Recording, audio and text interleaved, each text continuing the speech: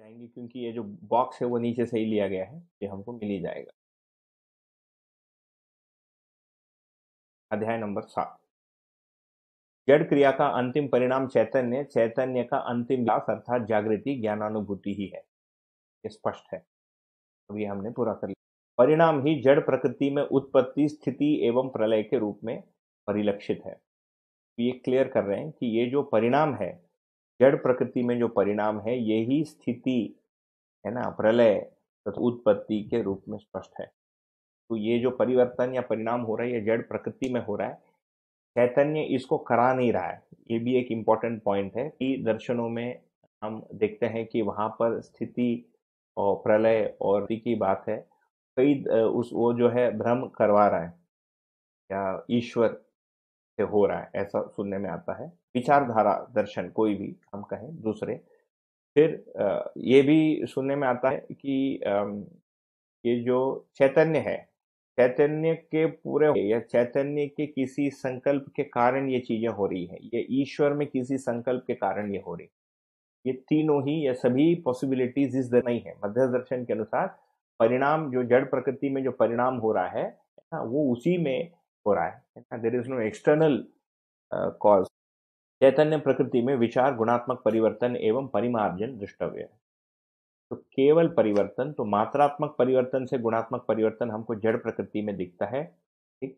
और गुणात्मक परिवर्तन मात्र, बिना मात्रात्मक परिवर्तन का हमको चैतन्य प्रकृति में दिखता है। यही आगे जाके किसी स्टेज के बाद इसको परिमार्जन है। हाँ, तो मानवीयतापूर्ण जीवन को प्राप्त करने के बाद अनुभव के लिए जो प्रयास है ये परिमार्जन प्रक्रिया के रूप में लिखा है पुस्तक में। आगे प्रत्येक उत्पत्ति के पूर्व उसकी स्थिति भिन्न थी इसलिए सम्यक विवेचना के उपरांत अनंत स्थितियों में भाव और धर्म के आधार पर वैविध्यता की स्थिति स्पष्ट है। ठीक है तो ये भी बहुत क्लियर है कि प्रत्येक जो उत्पत्ति होती है जैसे मान लीजिए एक पेड़ उग गया तो या पेड़ उग गया है ना उसके पहले उसकी स्थिति भिन्न थी। तो हम पूछेंगे कि पेड़ था कहाँ? तो पेड़ बनने की जो मूल जो कोड है है ना, जो उसका भ्रूण है, वो फिर हमको बीज के रूप में दिखता है। और फिर वातावरण से पदार्थ को इकट्ठा करके उसके योग फल में, वातावरण के दबाव वेश फिर वो पेड़ फलित होता है। इसलिए सम्यक सम्यक विवेचना का मतलब सही विवेचना। अधिमूल्यन, निर्मूल्यन और अवमूल्यन से मुक्त विवेचना के उपरांत अनंत स्थितियों में, जितनी भी स्थितियाँ इस ब्रह्मांड में है, अनंत ब्रह्मांडों में है, में रूप, गुण, स्वभाव और धर्म के आधार पर वैविध्यता की स्थिति स्पष्ट है। तो ये कह रहे हैं कि ये स्थिति लय है ना, और उत्पत्ति में रूप, गुण, स्वभाव, धर्म हमको अनंत स्थितियों में सम्यक विवेचना पूर्वक प्राप्त होता है। विवेचना अधिकार ज्ञान अवस्था में सिद्ध हुआ है। तो ये जो विवेचना का जो अधिकार है, ये जीव अवस्था तथा पदार्थ अवस्था और ईश्वर में भी नहीं है। ईश्वर नामक वस्तु या उस वास्तविकता में नहीं है। विवेचना स्थिति सत्य, वस्तुगत सत्य, वस्तु स्थिति वस्तुगत वस्तु स्थिति सत्य के रूप में है। तो किस वस्तु को विवेचना कह रहे हैं? विवेक पूर्वक जो विश्लेषण होता है, विवेक का मतलब है कि सत्या सत्य है ना? नित्य नित्य में भेद कर पाना इसके ज्ञान सहित सत्य असत्य नित्य नित्य ये सारे चीज़ों में जो हम भेद कर पाते हैं इसके साथ जो विश्लेषण क्षमता हमारे में बनती है इसका नाम है विवेचना। तो विवेक पूर्वक विश्लेषण हमको क्या समझ में आता है? ये स्थिति सत्य है ये समझ में आता है ये वस्तुगत सत्य समझ में आता है और ये वस्तु स्थिति सत्य ये समझ में आता है। जैसे आज के दिन यदि हम देखें जैसे मैं अभी ये, ये बात आपको बता रहा हूँ। अब ये हो भी सकता है कि मुझमें विवेक हो ये ये भी हो सकता है कि केवल विवेक की विवेक ऐसा है ये मुझमें उसका स्वीकार हुआ हो उसके साथ फिर हमारा विश्लेषण है। तो विवेक एक प्रकार से एक समझ है मूल में एक अवधारणा है जिसके फलन में फिर विचार या तर्क का नियोजन होता है। हाँ, तो जब विवेक जो है ये सच्चाई के स्वरूप या यथार्थ के स्वरूप में होता है तब उसको विवेक कहेंगे उसके पहले वो मान्यता है। तो किसी भी मान्यता के अंतर्गत कोई विश्लेषण होता है तो यहाँ पर यथार्थ मान्यता, यथार्थ दर्शन के साथ जो विवेचना होता है विश्लेषण होता है, उसका नाम है विवेचना। तो उसमें फिर ये जो भी स्थितियाँ हैं, रूप, गुण, स्वभाव, धर्म को ही लेकर फिर हम वस्तुगत सत्य, वस्तु स्थिति सत्य तथा स्थिति सत्य के रूप में हम समझते हैं, है ना? तो स्थिति सत्य का मतलब है सत्ता में संप्रत जड़ चैतन्य प्रकृति के रूप में है, वस्तुगत सत्य का मतलब रूप, गुण, स्वभाव, धर्म का होना तथा इसका अविभाज्य होने के अर्थ में है और वस्तु स्थिति सत्य का मतलब देश दिशा और काल को सामयिक तथ्य के रूप में हम इसको पहचानते हैं। फिर कहते हैं विगुण स्वभाव और धर्म में से के लिए ही है। ना? और किसी वस्तु का विवेचना फिर हो नहीं सकता। ये भी एक बड़ा ये है क्योंकि परंपरागत विधाओं में विवेकोदय है ना? फिर एक पुस्तक मैंने बहुत पहले पढ़ी थी दस बारह वर्ष पहले। विवेक चूड़ामणि बोल के डर्मिनेशन हाँ, कि हम सत्य सत्य में भेद कैसे कर पाए। मुझे लगता है कि इस अनुभव दर्शन में जो लिखा है और विवेक चूड़ामणि पुस्तक में जो भिन्नता है, सही क्या है, गलत क्या है, वो तो हर साधक, हर अनुभव करता तय करेगा। इसमें भेद है, ये तो हमको काफ़ी स्पष्ट रूप में दिखता है। कई जगह भाषा, तर्क और किन्हीं चीज़ों में समानता भी दिखती है, कई जगह भेद भी दिखता है, कई जगह बिल्कुल ही विपरीत स्टेटमेंट भी दिखते हैं। कि दूरी हमको इन चार पाँच लाइन से हमको समझ में आता है। तो विवेचना अधिकार यहाँ पर रूप गुण स्वभाव धर्म के अंतर्गत ही है ये हमको इस रूप से समझ में आता है। उत्पत्ति हम रूप गुण स्वभाव धर्म क्या है इसकी डिटेल में भी नहीं जाएँगे। वो आगे आप किसी बुक में देख लेना। उत्पत्ति स्थिति और प्रलय की गणना एवं रासायनिक परिणाम व परिवर्तन की सीमांतवर्ती है जो मरणशील है अर्थात अग्रिम परिणाम भावी है। ठीक है? तो जो भी उत्पत्ति स्थिति और जो भी गिनते गिनती करते हैं ये केवल जगत तक ही सीमित है। हाँ, और इसका जो अंतिम परिणाम है, वो क्या है? वो परिवर्तन के रूप में ही है। तो ये मरणशील है, किस अर्थ में कह रहे हैं? उसका स्वरूप में परिवर्तन हो जाना, ठीक है? तो इसका अस्तित्व धर्म रहते हुए उसमें रूप परिवर्तन कनेक्शन सक्सेसफुल आ गया चलिए।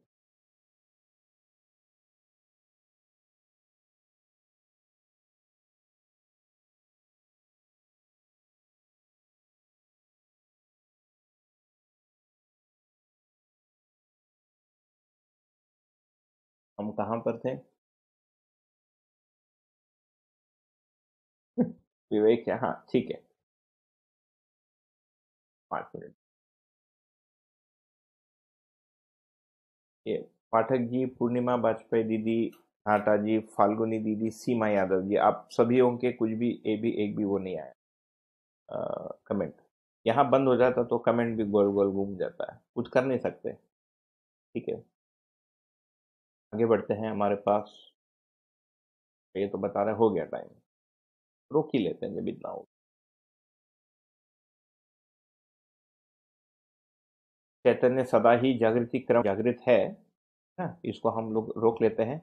आ, कल हम पुनः ये अनुभव के बारे में मेरा अनुमान आ, मेरे मैंने अभी तक जितना भी शोध किया है उससे जो भी अनुमान बनता है उससे ऐसा लगता है कि अनुभव के पूर्व में जो बोध है, वही अनुभव के बारे में अनुमान है।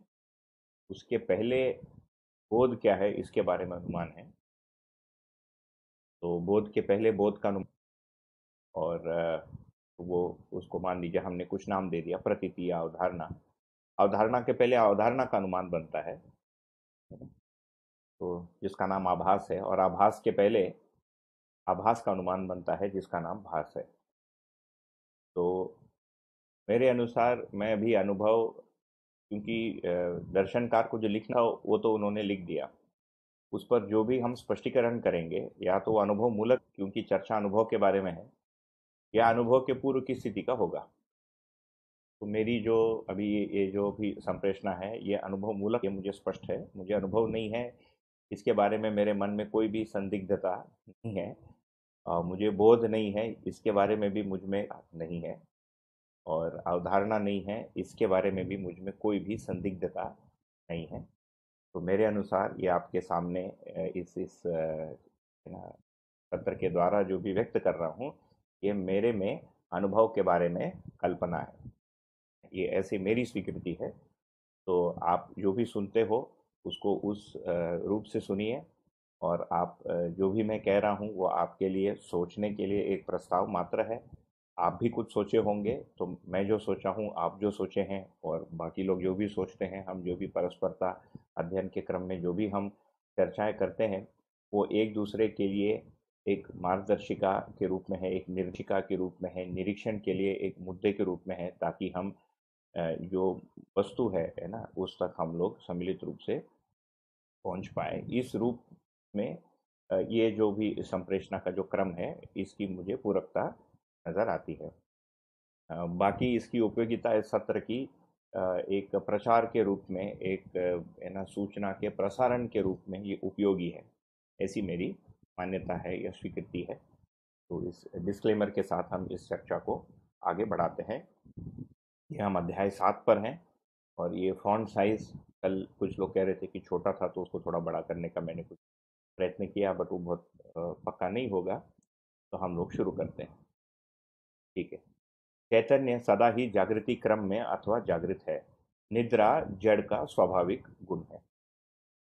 तो क्योंकि चैतन्य और जड़ में बहुत ही शुद्ध रूप से, बहुत ही स्पष्ट रूप से दर्शनकार ने भेद किया है तो ये भी क्लियर हो रहा है कि निद्रा मतलब जो गहरी नींद है वो जड़ शरीर का स्वाभाविक गुण है। तो ये भी हम इससे ये कर सकते हैं कि ये केवल शर का शरीर का नहीं, हर जड़ वस्तु फिर निद्रा में है। मतलब वो जगह नहीं है। तो एक प्रकार से फिर ये भी हम अनुमान कर सकते हैं कि सोते समय, है ना, हम स्वयं के जड़त्व का ही अनुभव करते हैं, गहरी नींद में स्वयं के जड़त्व का अनुभव करते हैं, उसमें चैतन्य क्रिया के होने का कोई प्रमाण हमको मिलता नहीं, निद्रा के अवस्था में।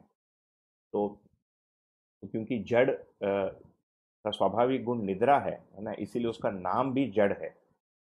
जैसे हम, या मैं जहाँ से, जहाँ पैदा होकर बड़ा हुआ महाराष्ट्र में, मराठी में जड़ कोई भी भारी वस्तु को जड़ कहते हैं। जैसे यह भाषा के रूप में भी कहते हैं, जड़ बुद्धि कहते हैं। मतलब कुछ सोच नहीं सकता। इस अर्थ में जड़ का परिभाषा या इसके शब्द का चयन किया होगा, ऐसा हम अनुमान कर सकते हैं। इसके तो चैतन्य को देखें तो वो सदा ही जागृति क्रम अथवा जागृत है। तो ये एक बहुत क्लियर भेद है चैतन्य और जड़ में। हमको अपने निरीक्षण के दृष्टि से भी ये बहुत ही एक महत्वपूर्ण मुद्दा है है ना कि जैसे हम प्रतिदिन रात को आठ घंटा सोते हैं विश्राम करते हैं उसमें कुछ कल्पना भी होती है कोई स्वप्न भी होता है कुछ निद्रा का भी समय होता है उस समय स्वयं होने का प्रमाण हमको या संसार होने का प्रमाण हमको बहुत ज़्यादा नज़र आता नहीं। परंपरागत रूप से भी बहुत लो, सारे लोगों ने इस पर जो भी शास्त्रार्थ किया तर्क वितर्क किया इसको इस पर विचार विमर्श किया। ये भी तर्क दिए गए कि क्योंकि जैसे स्वप्न अवस्था में कोई वस्तु रहती है रह, मतलब रहती है ऐसा लगता है है ना? पर वो वास्तव में रहता नहीं। इसीलिए जो भी दिखता है वो हो सकता है कि है भी या नहीं भी। मतलब स्वप्न अवस्था की जो एक ऑब्जर्वेशन है उसका जो एक अवलोकन है उसको निकाल के जागृत अवस्था में उन्होंने उसको पेस्ट कर दिया। तो क्योंकि ये भी हो सकता है कि जैसे मैं आपके सामने अभी व्यक्त हो रहा हूँ, ये वास्तविकता नहीं है और ये अपने में एक स्वप्न है इसको हम कैसे बोल पाए। क्योंकि स्वप्न में भी सामने आदमी रहता है, वो भी बोलता है, हम भी बोलते हैं, है ना? और जागृत अवस्था में भी ऐसे रहता है। ऐसे कई प्रकार के तर्क दिए गए।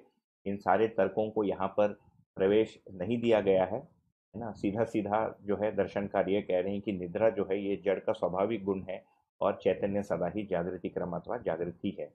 इसको आगे स्पष्ट करते हैं, जागृति की तुलना में ही स्वप्न एवं सुषुप्ति का अध्ययन है। ठीक है?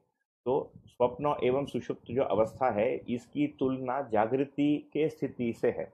तो इन्होंने इसको ये स्पष्ट कर दिया। मतलब सच्चाई का जैसे संवेदनशीलता या अभी मानव जो अजागृत स्थिति में है, उसमें कोई भी वस्तु होने का जो मापदंड है, वो जागृत अवस्था के साथ है।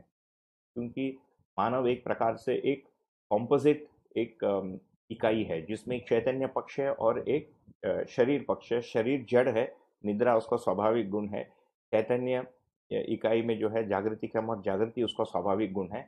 परंतु ये चैतन्य इकाई जब जड़ इकाई के साथ तदाकार हो जाता है, वो स्वयं को भी जड़ मान ही लेता है। इसीलिए फिर कंफ्यूजन की बात है। तो कौन सा पक्ष जड़, कौन सा पक्ष चैतन्य और चैतन्य में फिर कौन सी क्रियाएँ जड़त्व के साथ तदाकार हो सकती है और कौन सी क्रिया तदा जड़त्व के साथ तदाकार नहीं हो सकती है, ये फिर मानव के लिए अध्ययन का बिंदु बन जाता है। इस अर्थ में इस लाइन को समझा जा सकता है कि जागृति की तुलना में ही स्वप्न एवं सुषुप्ति का अध्ययन है। फिर कहते हैं, सत्ता में अनुभूति एवं दर्शन योग्य क्षमता ही जागृति है। तो कुल मिलाकर जागृति को फिर ये नहीं कह रहे हैं यहाँ पर अंततः सत्ता में जो भी अनुभव होना है और उस सत्ता में प्रकृति का जो दर्शन होना है, ठीक है? इसके कॉम्बिनेशन को फिर जागृति नाम दे रहे हैं, ठीक? व्यापक वस्तु को सत्ता का है, ये तो हमको स्पष्ट है। अनुभूति योग्य क्षमता पर्यंत रूप, गुण, स्वभाव की अभिव्यंजना हावी है। तो अभिव्यंजित हो गया का मतलब अनुभव हो गया। अभिव्यंजना का मतलब है कि अभ्युदयार्थ व्यंजना या अभ्युदय पूर्वक व्यंजना अभ्युदय पूर्ण व्यंजना अभ्युदय उसको कह रहे हैं सर्वतोमुखी समाधान को। तो सर्वतोमुखी समाधान मूलक जो व्यंजना होता है जीवन में, उसका नाम है अभिव्यंजना। सर्वतोमुखी समाधान का जो चरमोत्कर्ष बिंदु है अनुभव है। इसीलिए अनुभव पर्यंत जो भी रूप, गुण, स्वभाव का जो है अभिव्यंजना प्रसिद्ध है। इसमें हम ये भी आप नोटिस करेंगे कि इसमें धर्म नहीं दिया है। अनुभूति, योग्य क्षमता पर्यंत रूप गुण स्वभाव की अभिव्यंजना है। धर्म की अभिव्यंजना नहीं लिखा है क्योंकि धर्म की मात्र अंततः अनुभूति ही होती है उसका दर्शन नहीं होता।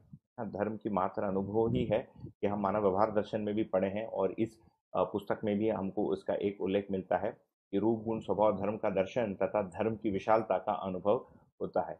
इसका ये मतलब नहीं है कि धर्म का प्रतीति नहीं होगा उसका आभास नहीं होगा उसका भास नहीं होगा है ना? यह धर्म बिल्कुल समझ में नहीं आएगा। धर्म का भास आभास प्रतीति होगा परंतु धर्म जो वास्तविकता है या वास्तविकता का धर्म जो आयाम है, ये बुद्धि या बोध में या प्रतीति में पूर्णतया समाता नहीं, इसको समाने के लिए फिर अनुभव ही आवश्यक हो जाता है। इसीलिए रूप, गुण, स्वभाव, धर्म के संयुक्त रूप में फिर अनुभव होता है, ऐसा भी कहा है। इसीलिए जागृति जो है ये अनुभव के साथ ही पूरा होता है, उसी को फिर पूर्ण जागृति भी आगे कहेंगे। जिससे किससे? अनुभव से, जिससे हर शोक आदि द्वंद्व का प्रसव होता है। अच्छा नहीं, अनुभव से नहीं, अनुभव योग्य क्षमता तक, है ना, हर शोक आदि द्वंद्व का प्रसव होता है, क्योंकि अनुभव पर्यंत जो है अभिव्यंजना भावी है। इसका मतलब है कि सर्वतोमुखी समाधान अनुभव पर्यंत उसकी निरंतरता जो है अनुभव पर्यंत है नहीं, इसीलिए हर्ष और शोक हर्ष और शोक तो आप समझती हैं, इसका द्वंद्व की पूरी संभावना बनी ही रहती है। आगे सम विषम मध्यस्थ में, मध्यस्थ क्रिया व्यापक सत्ता में अनुभव पूर्वक समाधानित संतुष्ट एवं आप्लावित है। ठीक? तो जो सम विषम क्रिया है, एक समावेश होता है, एक विषम आवेश होता है। तो ये सम और विषम जो क्रिया है, ये मध्यस्थ क्रिया में संतुष्ट है। ठीक? और आप्लावित है और मध्यस्थ क्रिया अंततः व्यापक सत्ता में अनुभव पूर्वक समाधानित होता है। समाधानित संतुष्ट एवं आप्लावित है। तो इसको यदि ऐसे देखेंगे तो यदि साढ़े चार क्रिया से शुरू करते हैं तो चित्त में जो सम और विषम है, ये बुद्धि में के जो सम मध्यस्थ है, उसमें संतुष्ट हो जाता है। बुद्धि में जो सम मध्यस्थ है, वो आत्मा के मध्यस्थता में संतुष्ट होता है और आत्मा का जो मध्यस्थता है, वो आगे जाके व्यापक वस्तु में या व्यापक सत्ता में वो संतुष्ट एवं आप्लावित होता है। बहुत ही सुंदर एक एक क्रम बताया इधर। इसी प्रकार अमान्यता, मान्यता में, मान्यता अति मान्यता में क्रम से तृप्त, संतृप्त और अति संतृप्त होता है। वापस, बहुत ब्यूटीफुल इसमें यदि देखेंगे तो अमानवीयता मानवीयता में मानवीयता का मतलब है यहाँ पर मानवीयतापूर्ण जीवन, है ना, जो अभ्यास दर्शन में अध्ययन किया गया तो मानवीयतापूर्ण जीवन का मतलब मानवीय दृष्टि, विषय, स्वभाव का ज्ञान तथा उसकी प्रवृत्ति तथा वह आचरण में वृत्ति, प्रवृत्ति या वृत्ति के रूप में आ जाना। तो अमानवीयता मानवीयता में क्रम से तृप्त होता है। मानवीयता अति मानवीयता में संतृप्त होता है है ना? तो ये अति मानवीयता में दोनों है, देव चेतना का ज्ञान और आचरण तथा दिव्य चेतना का ज्ञान और आचरण। तो मानवीयता जो है, देव चेतना रूपी अति मानवीयता के ज्ञान तथा आचरण में संतृप्त होता है तथा देव चेतना जो संतृप्त हुआ है, वो अति मानवीय रूपी दिव्य चेतना के ज्ञान तथा आचरण में अति संतृप्त होता है। तो ये तृप्त, संतृप्त और अति संतृप्त का हमको एक क्रम यहाँ पर दिखता है। आगे। रहस्यता से अज्ञान अज्ञान से भ्रम भ्रम से मोह मोह से अक्षमता अक्षमता से अमानवीयता और अमानवीयता से ही रहस्यता है। क्वाइट स्ट्रेट फॉरवर्ड इसमें कोई भी दिक्कत नहीं है। जो हमको समझ में नहीं आया वही रहस्य है है ना? तो इस रहस्यता के कारण ही अज्ञान का प्रसव होता है।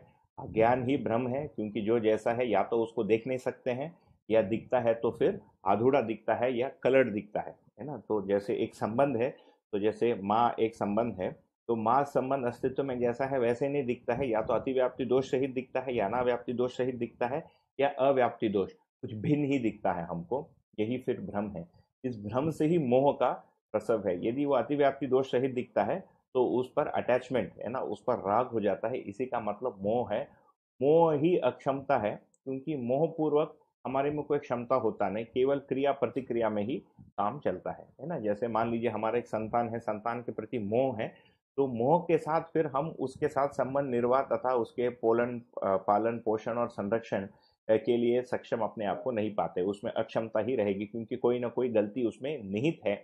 इसी से फिर अमान्यता का प्रसव है और अमान्यता स्वयं में रहस्य है है ना? एक लूपिंग स्टेटमेंट, रहस्यता से शुरू किया और रहस्यता में बंद किया आगे।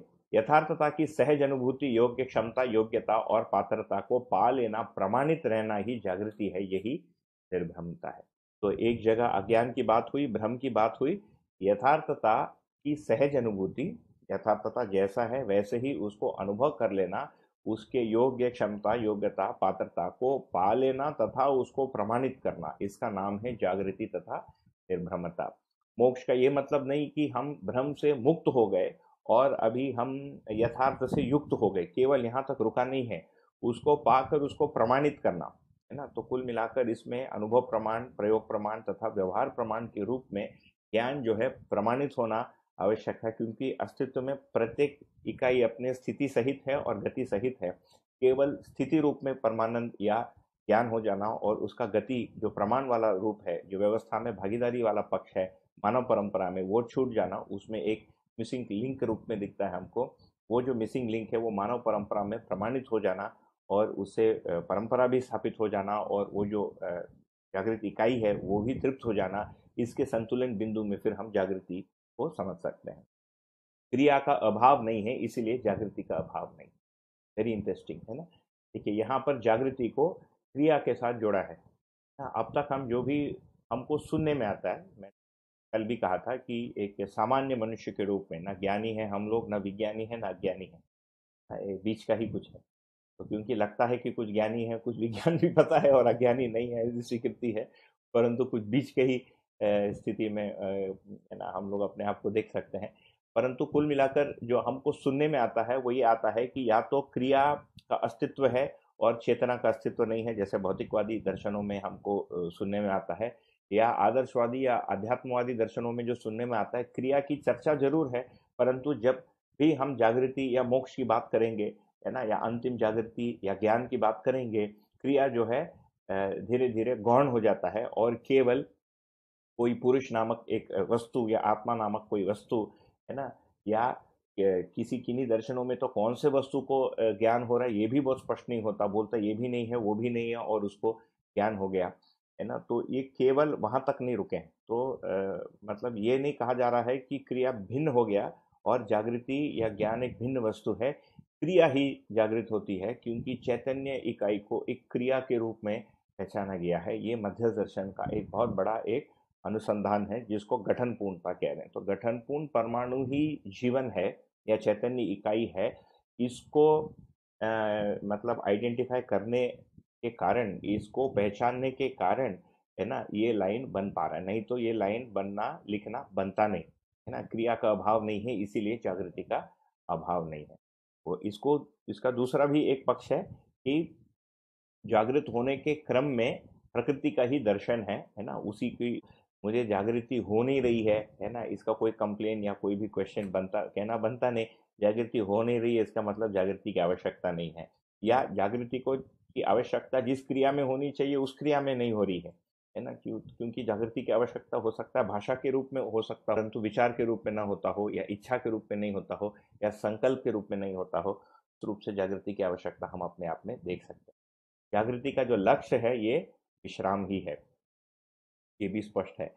तो अंदर जो भी द्वंद्व है, और उसके कारण जो पीड़ा, अशांति, दुख, क्लेश जो भी होता है, उससे हम मुक्त होना चाहते हैं या उसको हम एक अच्छे स्थिति में परिवर्तन हैं इसी स्थिति का नाम विश्राम है।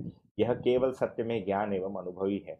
अंततः विश्राम जो है, ये सत्य में ज्ञान एवं सत्य में अनुभव को ही पूर्ण विश्राम कह रहे हैं। दो भाषा वस्तु में अनुभव ज्ञान पूरा होने से ही पूर्ण विश्राम की स्थिति को है तो इसी में फिर इसी की फिर निरंतरता है।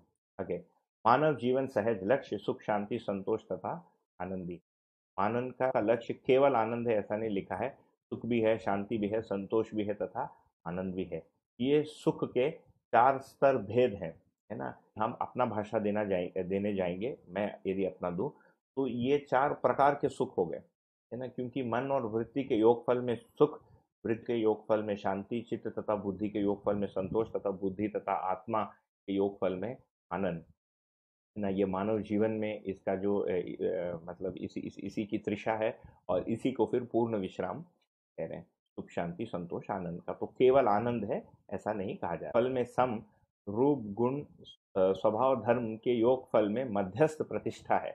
यही प्रकृति की पूर्ण प्रतिष्ठा है। तो इसको हम ऐसे समझ सकते हैं कि जब तक हमारे देखने का जो स्तर है वो केवल रूप और गुण तक ही सीमित है तो उसमें विषम होने की प्रधान साथ में कुछ सम हो सकता है और मध्यस्थ की कामना या मध्यस्थ की आवश्यकता हमको महसूस होती है इसको साढ़े चार क्रिया के रूप में दर्शन में बताया। तो रूप गुण स्वभाव के योग फल में फिर सम है ना? तो समात्मक जीवन कब हम पा सकते हैं? जब स्वभाव का साक्षात्कार हो जाता प्रतीति हो जाती है या स्वभाव धर्म का साक्षात्कार और प्रतीति हो जाती है हाँ, तो रूप गुण स्वभाव धर्म के संयुक्त रूप में जो साक्षात्कार होता है उससे स्वभाव पर अधिकार आता है क्रमशः है ना? इसको अवधारणा के रूप में भी बताया गया है।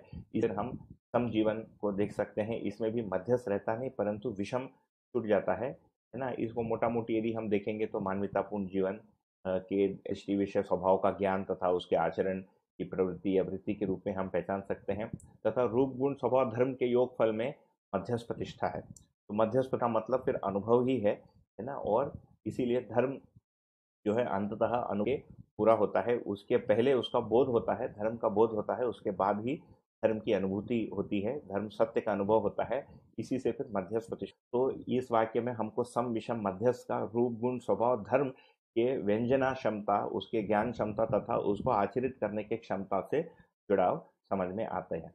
यही प्रकृति की संपूर्ण प्रतिष्ठा है, क्योंकि इस प्रकार इससे अधिक प्रतिष्ठा के लिए कोई वस्तु है नहीं, रूप, गुण, स्वभाव, धर्म से अधिक। यही रासायनिक इमा में उद्भव विभव प्रलय को तथा चैतन्य अवस्था में गठन पूर्णता क्रिया पूर्णता और आचरण पूर्णता को सिद्ध किया है। देखिए बहुत ही एक इंटरेस्ट है तो ये क्या है? ये सम विषम मध्यस्थी भौतिक रासायनिक सीमा में उद्भव विभव और प्रलय को सिद्ध करता है। इसको हम कैसे देखेंगे? ये आ, सम आ जाएगा है ना? विभव जो है ये मध्यस्थ हो गया और प्रलय जो है ये विषम हो गया। तो जो भी जैसे एक पौधे का उगना, उसका बने रहना और उसका घटना तो उद्भव विभव प्रलय है ना? इसी को फिर रजोगुण, समोगुण और तपोगुण भी कहा है। इसी को फिर सम विषम या सम मध्यस्थ और विषम के रूप में भी हम अध्ययन किए हैं। यही जो वस्तु है, ये चैतन्य अवस्था में गठन पूर्णता क्रिया पूर्णता और आचरण पूर्णता को सिद्ध करता है। तो क्या मतलब हुआ उसका? गठन पूर्णता के बाद क्रिया पूर्णता पर्यंत, है ना? रूप और गुण का विषम अवस्था में रहना, पूर्णता में रूप गुण स्वभाव के योग फल में सम अवस्था में रहना भावी है तथा आचरण पूर्णता के ज्ञान तथा प्रमाण। हम जब भी बात करेंगे इन स्थितियों की व्यापूर्णता, आचरण पूर्णता इत्यादि की, इनका एक ज्ञान पक्ष है, इनको अभिव्यक्त करने का एक प्रमाण पक्ष है। अंततः प्रमाण के पहले ज्ञान होने की कोई बात हो नहीं सकती, परंतु ज्ञान होने के बाद ही प्रमाण होगा, है ना? तो जिस इकाई को ज्ञान होता है, उसको तो चलता ही कि ज्ञान हुआ है, उसको अपने में कोई प्रमाण दिखे है, दिखेगा ही। वो परंपरा में जब तक ट्रांसफ़र नहीं हो जाता है, तब तक परंपरागत प्रमाण नहीं है, इसीलिए फिर हम उसके ज्ञान तथा प्रमाण दोनों पक्ष के हम बारे में हम देखेंगे। तो अभ्यास दर्शन वाले सत्र में थोड़ा सा थे तो उसमें इस पर थोड़ी सी चर्चा हुई थी। है ना तो आचरण पूर्णता को सिद्ध करता क्या है? मध्यस्थ प्रतिष्ठा ही आज को ये सिद्ध करता है। इकाई इकाई रूप, गुण, स्वभाव एवं धर्म के योग फल में ही स्थापित संबंधों में निहित का अनुभव करता है।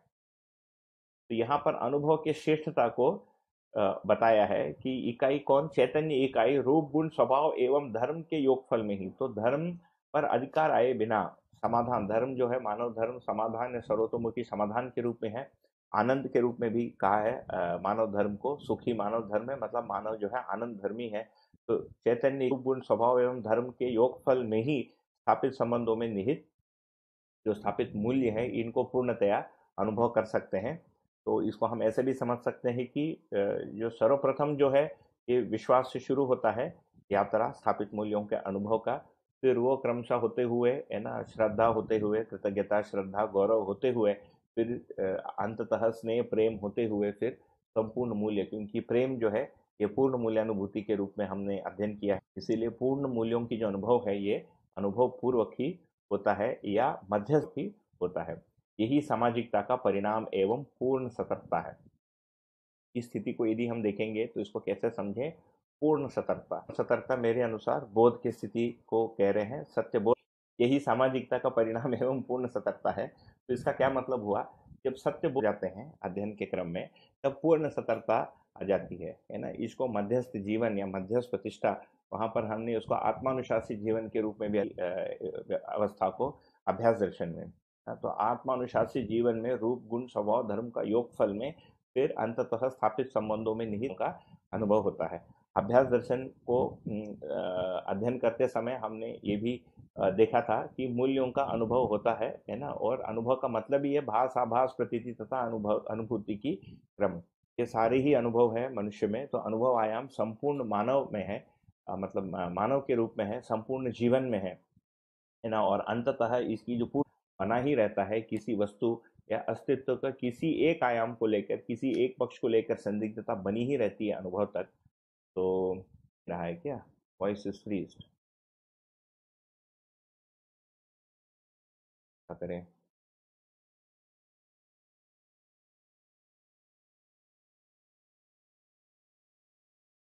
क्या रहे हेलो हेलो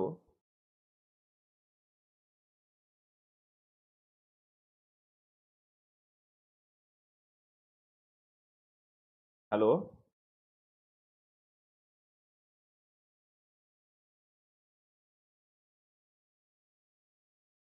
हाँ।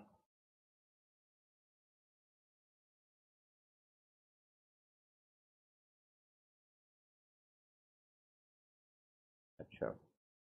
ठीक है ठीक। ओके।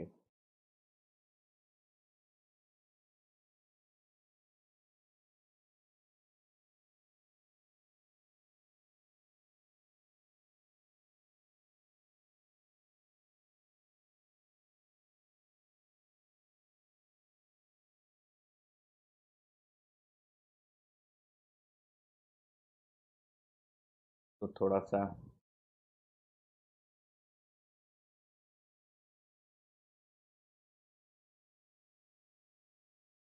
साउंड थोड़ी सी दिक्कत आ रही है।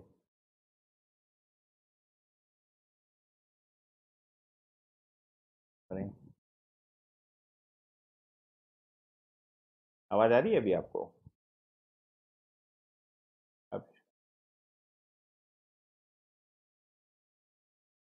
ओके ना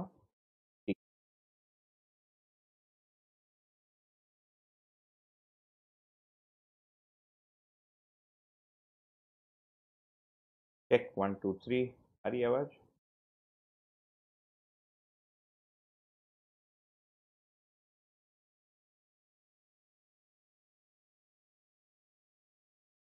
okay connection but it's back now okay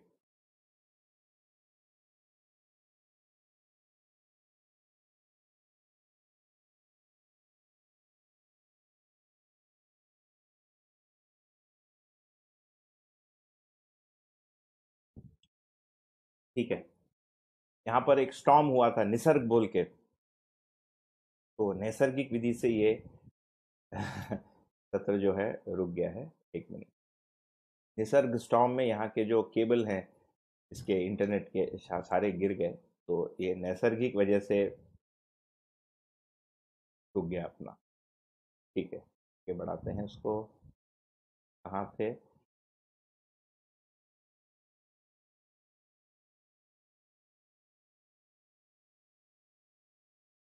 ठीक है तो नैसर्गिक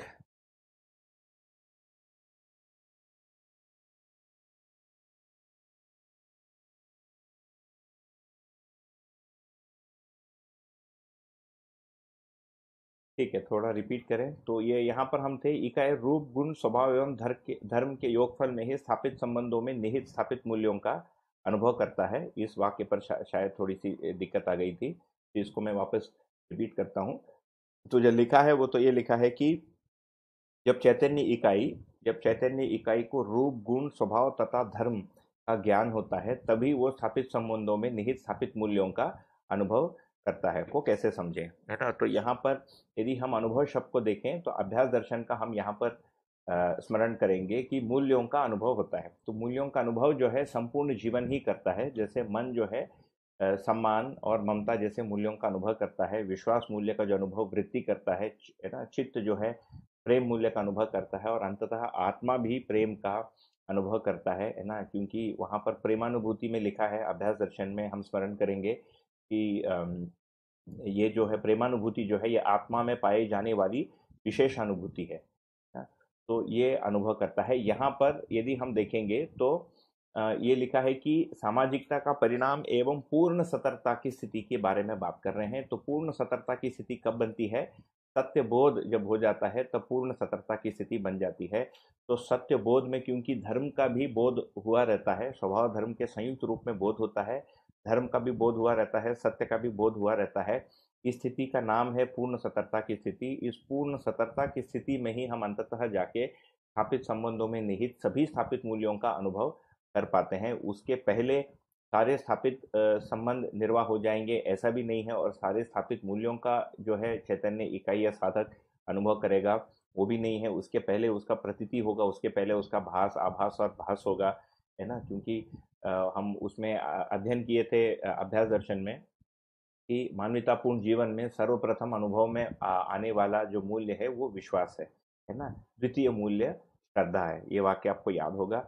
तो सर्वप्रथम विश्वास का अनुभव होता है, उसके बाद फिर श्रद्धा, फिर गौरव, वात्सल्य इस क्रम से अनुभव होता है और अंततः जाके प्रेम का प्रेम मूल्य का अनुभव होता है। तो यहाँ पर ये जब बात कर रहे हैं अनुभव होने का तो ये इस स्थिति के बारे में वर्णन है। ठीक? या लिखा है, इंगित किया है।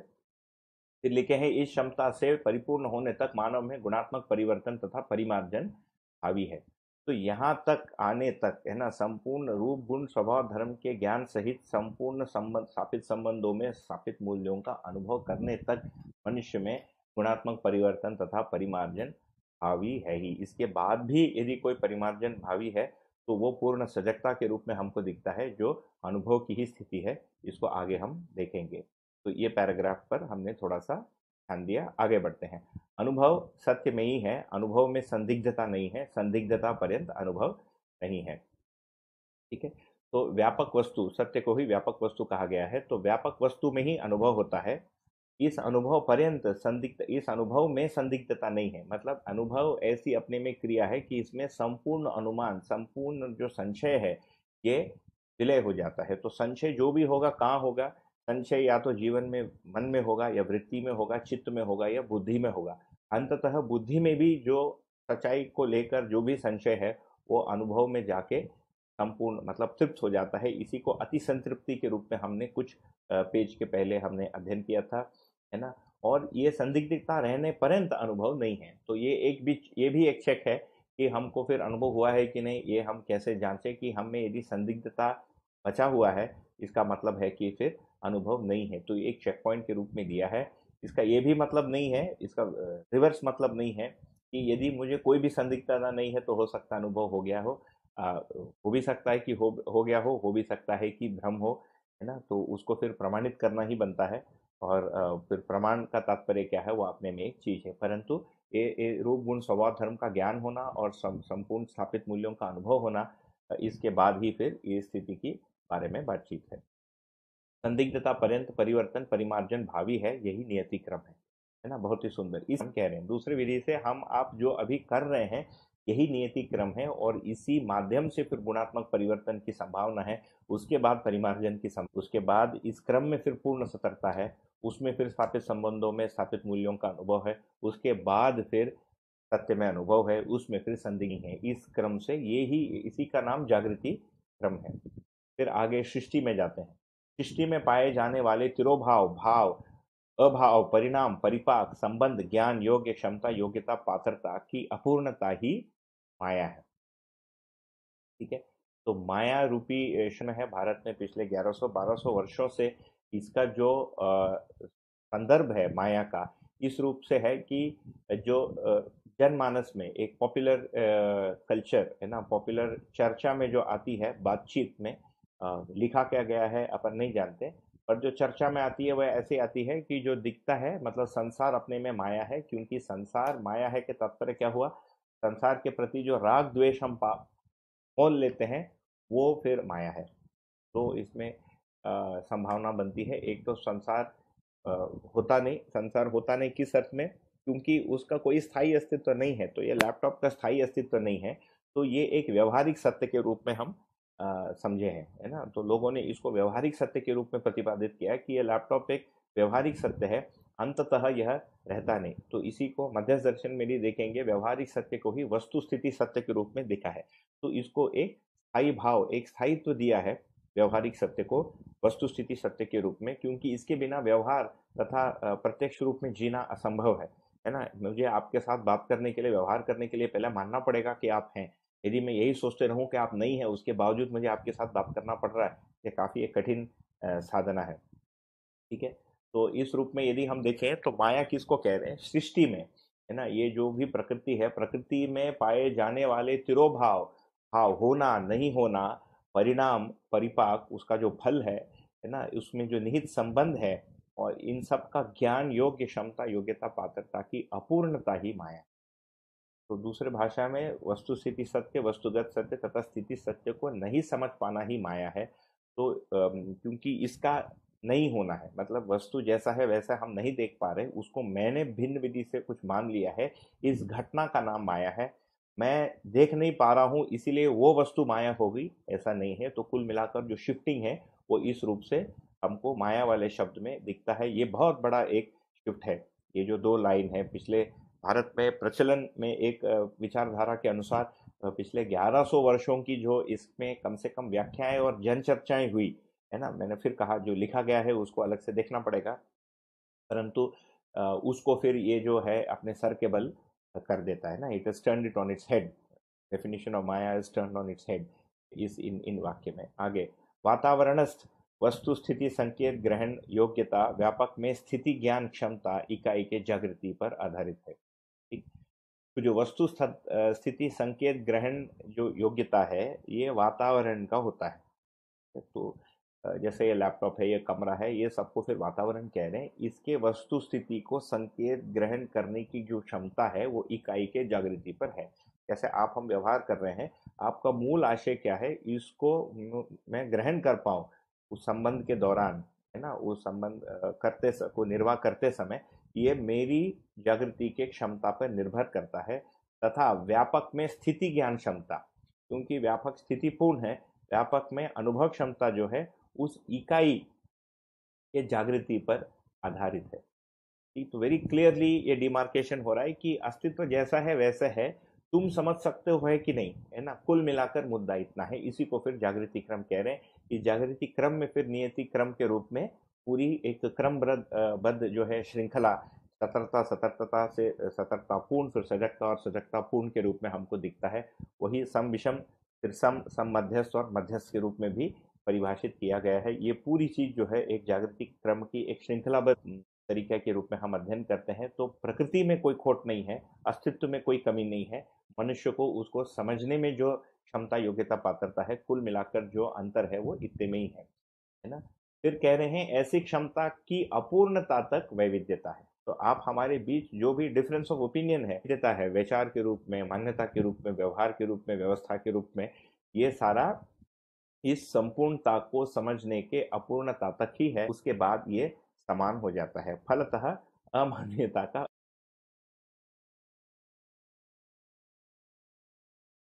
हम यहाँ पर थे अभिव्यंजना के रूप में तो उस वाक्य को एक बार पुनः पढ़ लेता हूँ।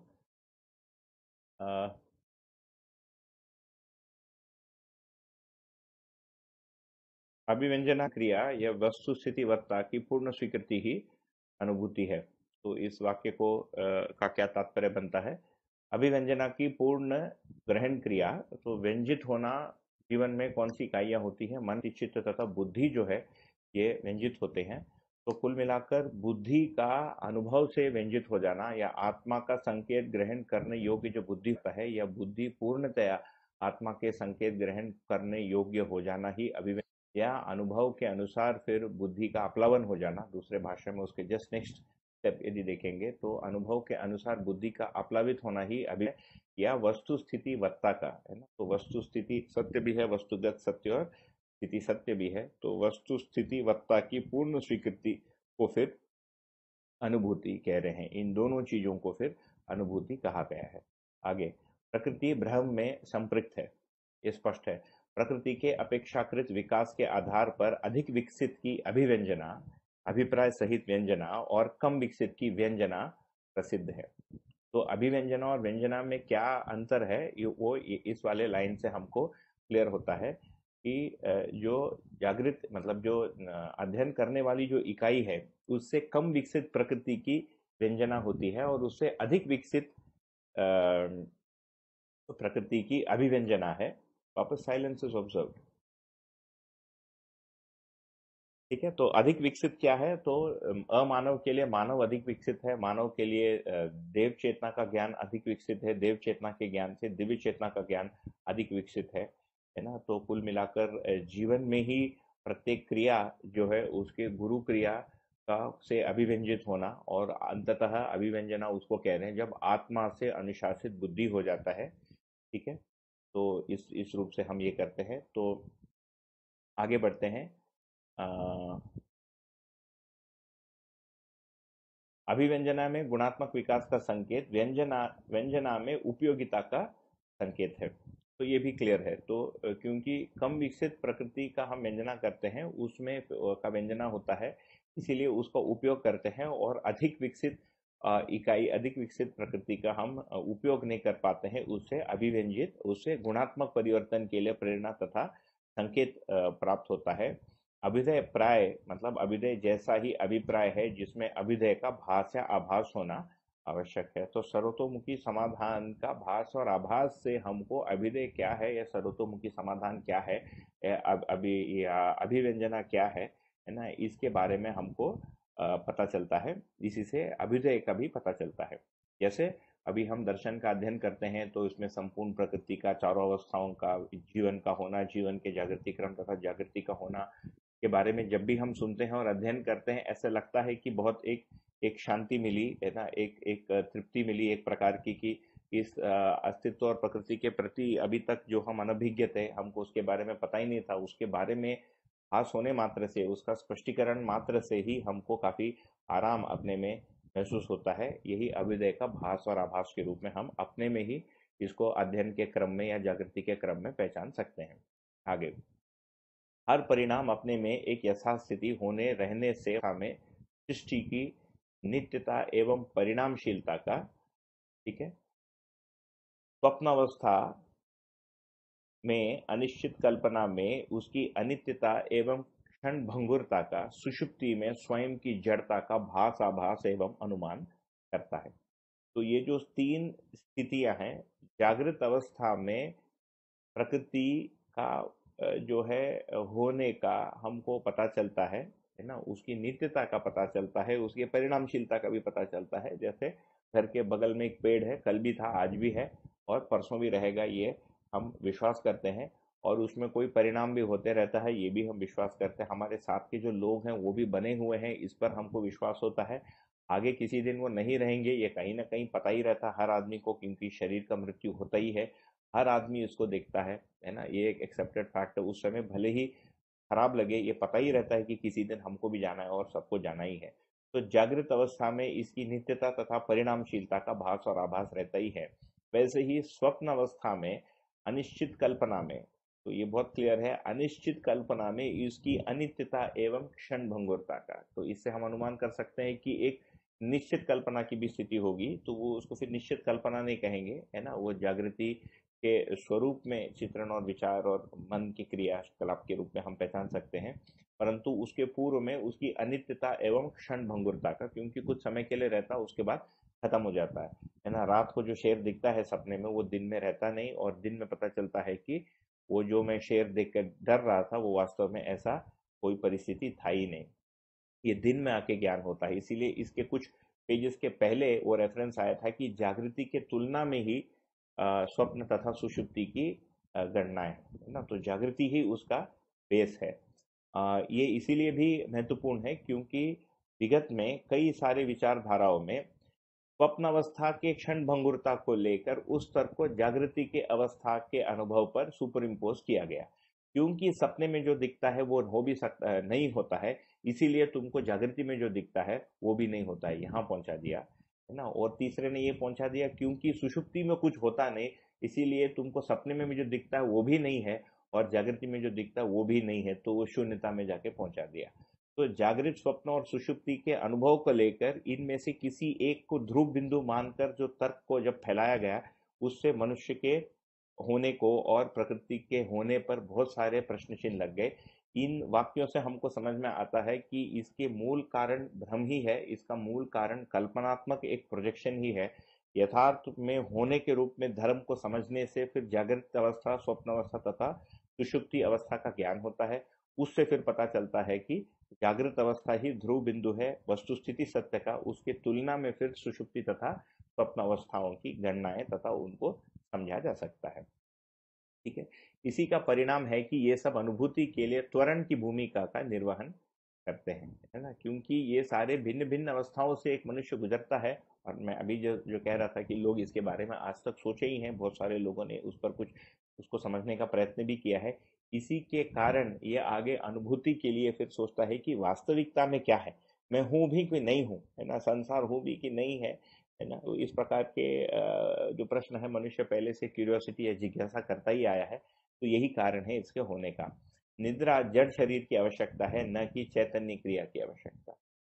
तो बहुत छोटी सी लाइन है बट इसको यदि हम अनुभव कर लेते हैं तो मुझे लगता है अपने में बहुत बड़ी एक स्पष्टता या क्लैरिटी की उपलब्धि हम प्राप्त कर सकते हैं कि ये जो भी सोने का जो क्रिया है, ये मेरी आवश्यकता नहीं है, जीवन की आवश्यकता नहीं है, ये शरीर की आवश्यकता है। तो सोना जो है, शरीर को सुलाना है।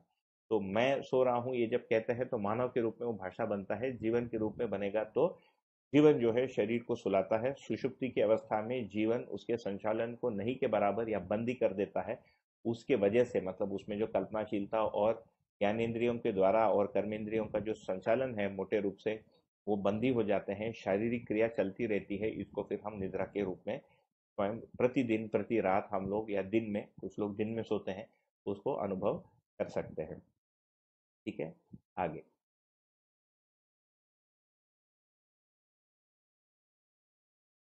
ये जब अनुभव दर्शन के बारे में बात करने के लिए जब आया तो मुझे लगा कि इसमें बहुत तो स्पष्ट है तो हम शायद आधे आधे घंटे में एक एक चैप्टर खत्म कर देंगे। अब एक एक लाइन को मतलब ऐसे देख कर यदि उस पर बोलने के लिए वो बनता है तो इतना सारा बनते जा रहा है अपने आप ही।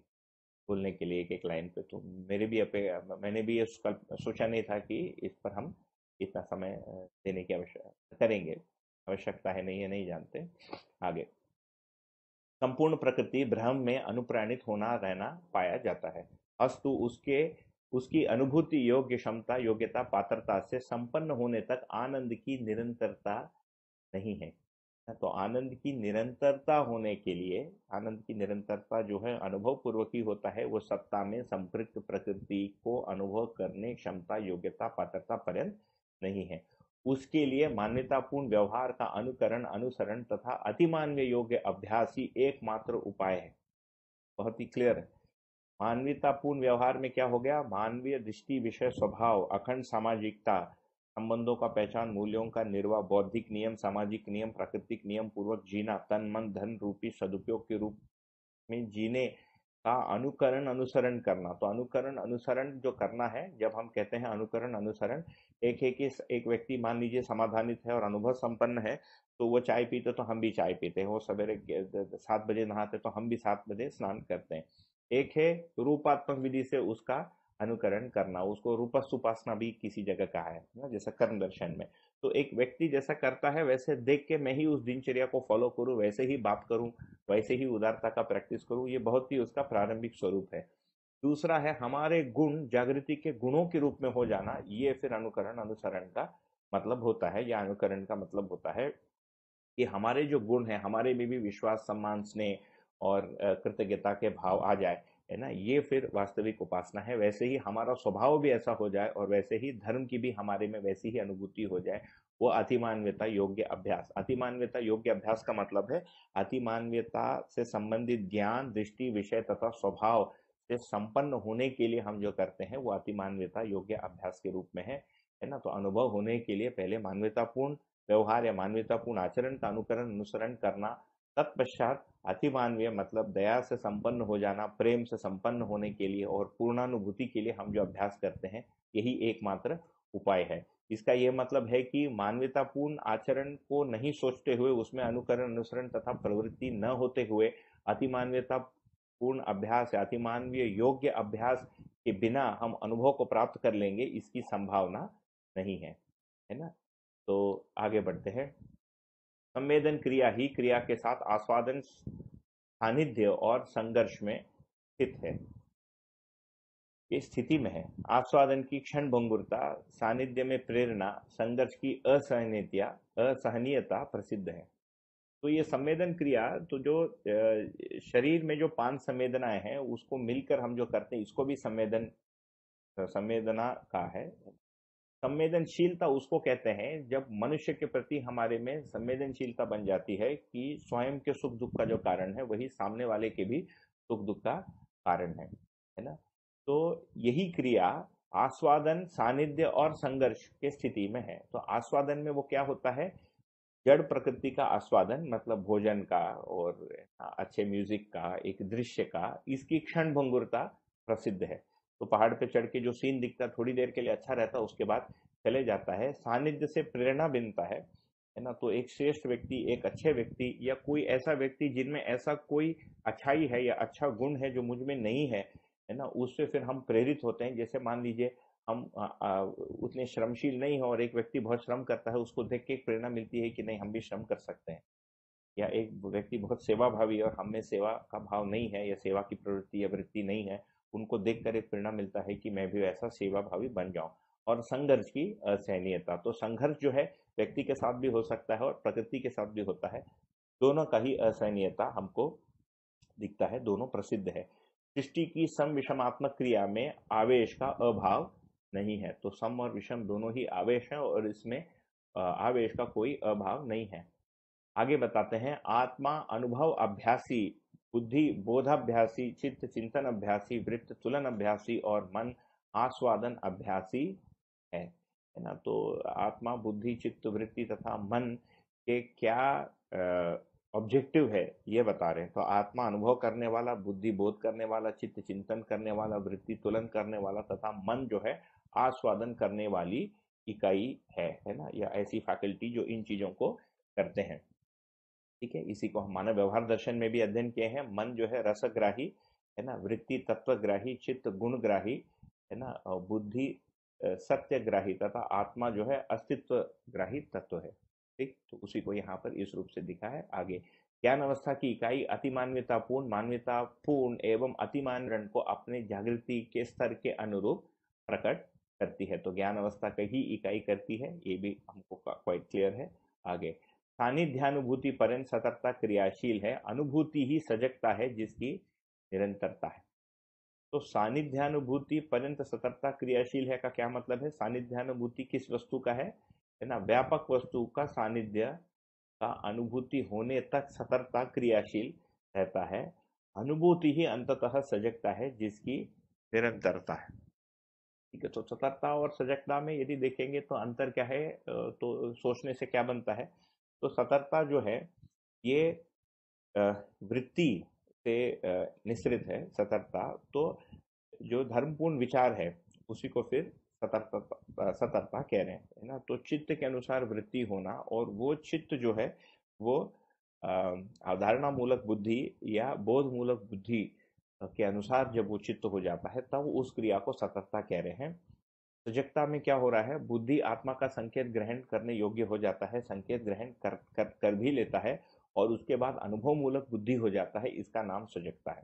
है ना? तो सजगता जो टर्म है वो चित्त और बुद्धि के योग फल में सजगता है और इसका मतलब बुद्धि के लिए कहा गया है और सतर्कता मतलब वृत्ति तथा चित्त के योग फल में है। तो फिर फाइनली चित्त तथा वृत्ति या चित्त के लिए कहा गया है ये सतर्कता तथा सजगता को इस रूप से हम लिख सकते हैं। इसीलिए सजगता की ही निरंतरता है, क्योंकि मध्यस्थ क्रिया के ना, प्रत्यावर्तन के बिना बुद्धि का जो प्रत्यावर्तन हो, उसकी निरंतरता तथा चित्त वृत्ति तथा मध्यस्थ क्रिया के ना, प्रत्यावर्तन के बिना बुद्धि का जो प्रत्यावर्तन हो, उसकी निरंतरता तथा चित्त वृत्ति तथा मन के जो प्रत्यावर्तन है, उनकी निरंतरता है ना? आनंद के रूप में या सत्य के रूप में या सत्य के प्रतिबिंब के रूप में इसकी निरंतरता पाई नहीं जाती है। आगे सम विषम आवेश को मध्यस्थ क्रिया ही आत्मसात करती है अर्थात तो ये दिखता है कि सम विषम आवेश को क्या हो गया उसको? आ नहीं रहा। एक मिनट। तो मध्यस्थ क्रिया ही सम विषम आवेश को आत्मसात करती है अर्थात करती है। तो इस वाक्य को कैसे समझें? कि मध्यस्थ क्रिया का जो प्रेरणा है, आत्मा का जो प्रेरणा है, ये बुद्धि पर हर समय उपलब्ध है समय उपलब्ध है। इसीलिए बुद्धि में विषम को नकारने तथा सम मध्यस्थ को स्वीकारने की क्षमता बुद्धि में पाई जाती है।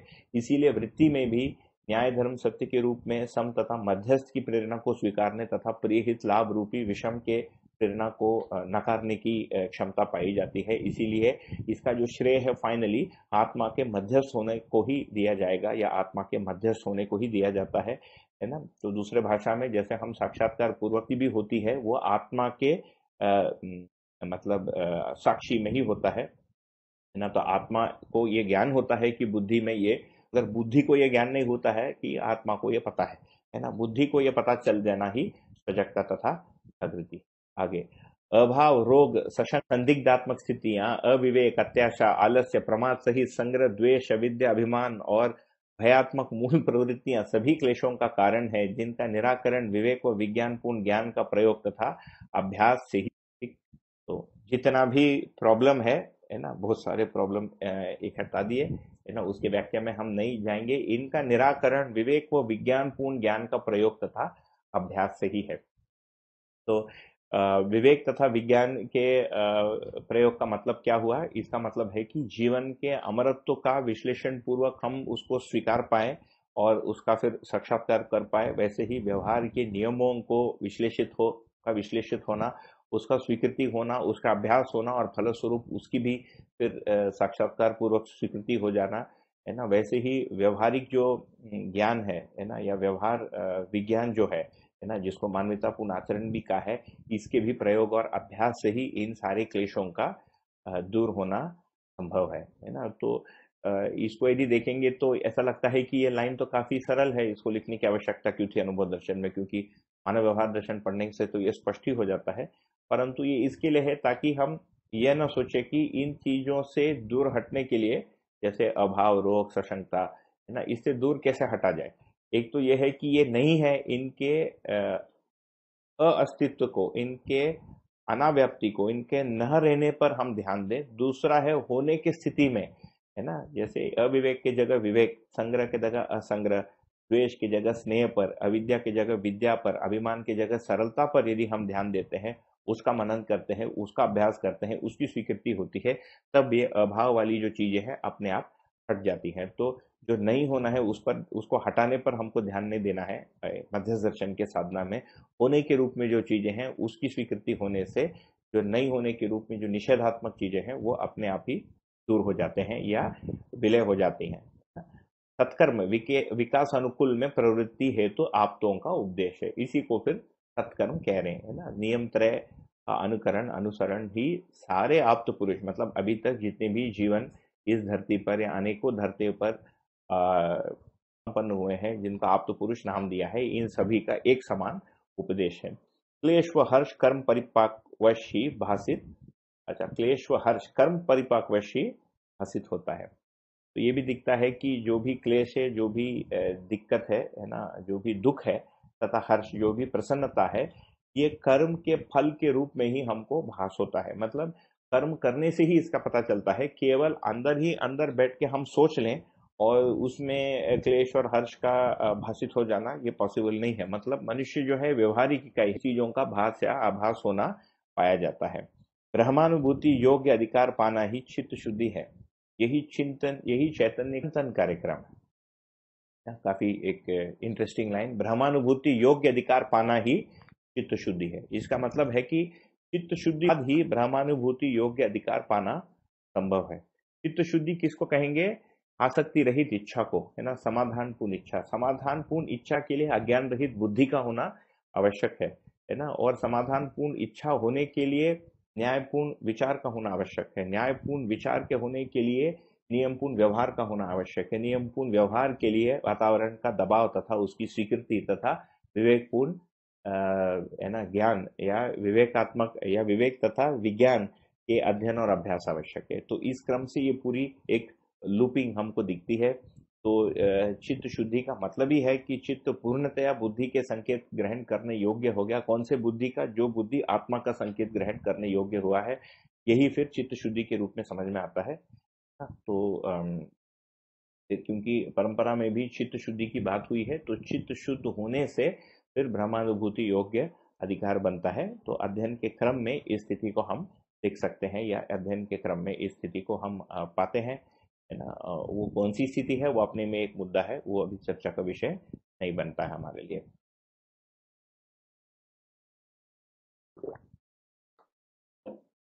यहाँ पर एक बात ध्यान आ रही है कि चित्त शुद्धि वाले इसमें, जब हम इंग्लिश को, इंग्लिश में इसको पढ़ते हैं, मैं ज़्यादातर जो भी अभी तक पढ़ा हूँ, इंग्लिश में ही पढ़ा हूँ मध्य दर्शन एकमात्र पुस्तक और कोई हिंदी की पुस्तक आज तक पढ़ाई नहीं।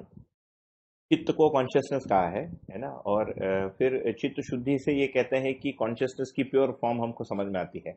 वही चीज़ जब पुरुष को भी अपना ज्ञान होता है पुस्तकों में, उसको भी फिर कॉन्शियसनेस कहा है। तो हिंदी ज्ञान था परंतु हम ये, इसको हमको ये क्लियर करना चाहिए कि यहाँ पर जब कॉन्शियसनेस या चैतन्यता या चैतनत्व को यदि भाषा हम देने जाएँगे तो ये पूरी ये चैतन्य इकाई में है, पूरे जीवन में है ये, है ना, केवल उसके स्तर भेद है, मन से लेकर आत्मा तक, है ना तो ये एक ध्यान देने का चित्त शुद्धि वाले इसमें, क्योंकि इसको लेकर परंपरागत अध्यायों में और पुस्तकों में काफ़ी सारा लिखा गया है आगे। ज्ञान सभी मानव का आध्यांत इष्ट ब्रह्मानुभूति ही है है ना, चाहे आपको पता हो, न हो, आपकी आध्यांत इष्ट ब्रह्मानुभूति ही है।